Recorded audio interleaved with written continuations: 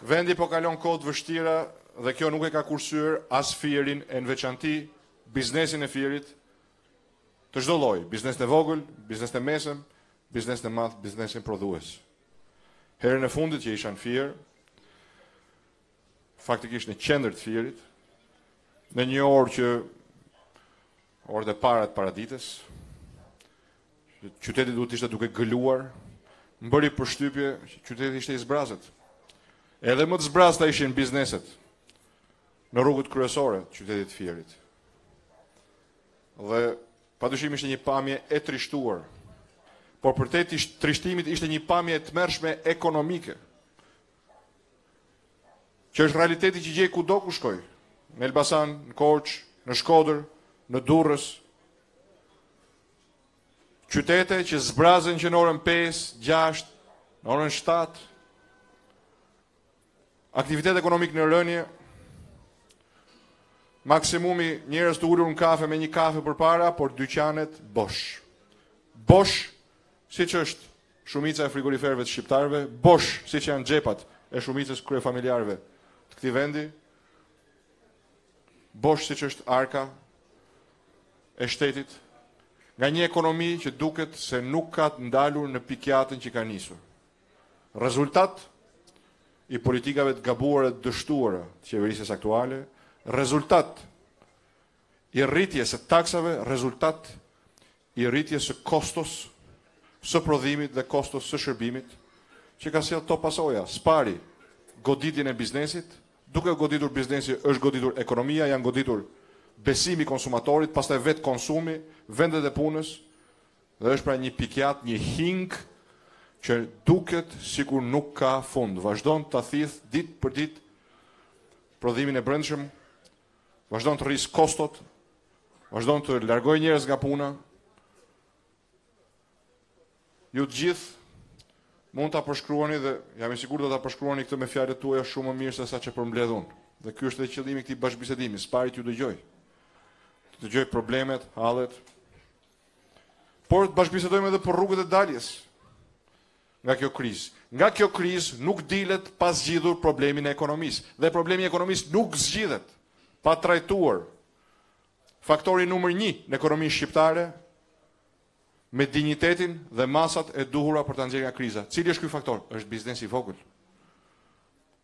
Mbi tetëdhjetë për qind e volumit dhe e punësimit vjen nga biznesi i vogël, por po kështu biznesi prodhues dhe natyrisht biznesi i madh dhe investimet e huaja, pa të cilat ekonomia jonë nuk mund të ketë të nesërme, po vetëm të djeshme, siç është rasti sot, ku flasim vetëm për të djeshmen, flasim për TAP-in, jo dje, ishte para tetë vitesh kontraktimi i TAP-it, tani po mbaron, flasim për Devollin, e njëjta gjë, por nuk flasim dot për një investim të huaj, serioz, perëndimor. Përveç shfaqjeve bajate me mashtrime avionësh që duken e zhduken nga linja ajrore e Turkish Airlines po lyer me bojën e Edi Ramës si Air Albania. Që ndonëse është një sajesë shumë e dyshimtë, Papritur na ka gjetur dhe para për të financuar për t'i vënë emrin stadiumit. Se ku janë ato para, se ku i bëri ato para, se kush ia dha ato para, hajde merre me mend. Por e rëndësishme është kjo, që nuk kemi një investim serioz të huaj, aq më pak investim serioz perëndimor në vend. Ndryshe nga kjo qeveri, që që prej ditës së parë e deri ditën e fundit ka vetëm fasadën, për mua, për Partinë Demokratike, në zemër të vizionit tonë politik për nxjerrjen e vendit nga kriza, është një biznes i çliruar, i çliruar nga kostot e larta, i çliruar nga taksat e larta, i çliruar nga regjimi banditesk i inspektorateve duke filluar me tatimorët dhe me çdo inspektorat tjetër, një biznes i fuqizuar, një biznes i përtërirë. Kjo është parathënia, është kapitulli i parë i përtëritjes të ekonomisë së Fierit, i përtëritjes së ekonomisë kombëtare, i hapjes së vendeve të punës dhe ndaljes së krizës sociale, e cila po përkthehet si asnjëherë tjetër në largimin më masiv zbrazjen më masive të Fierit të qyteteve tona kryesore. Miqtë e mi, ne kemi një platformë të qartë për biznesin e vogël. Shumë prej këtyre masave, në fakt, do të prekin gjithë qytetarët. Dhe një pjesë prej tyre do të afektojnë pozitivisht edhe biznesin e madh, edhe biznesin prodhues. Ndaj unë kam kënaqësinë të jem sonte këtu në mesin tuaj, për t'ju dëgjuar pikësëpari, sepse ajo për të cilën vendi ka nevojë, nuk është thjesht dhe vetëm një platformë ekonomike, po një qeveri që ju dëgjon, një qeveri që ju kupton, një qeveri që ju mbështet, një qeveri që është gati t'ju japë dorën në momente të vështira të biznesit, në vend që t'ju vërë shkelmin apo t'ju vërë duart në fyt.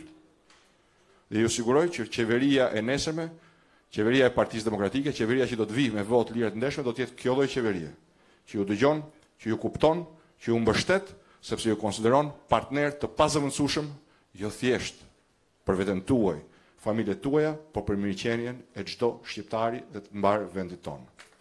Do të veçoja Moratoriumin për inspektoriatet. Për inspektoratin tatimor, në rastin e biznesit të vogël, pulla fiskale do të thotë që prania e një inspektori tatimor tek dyqani, tek biznesi është e kundraligjshme, madje do ta kthejmë në vepër penale, por edhe inspektoratet e tjera.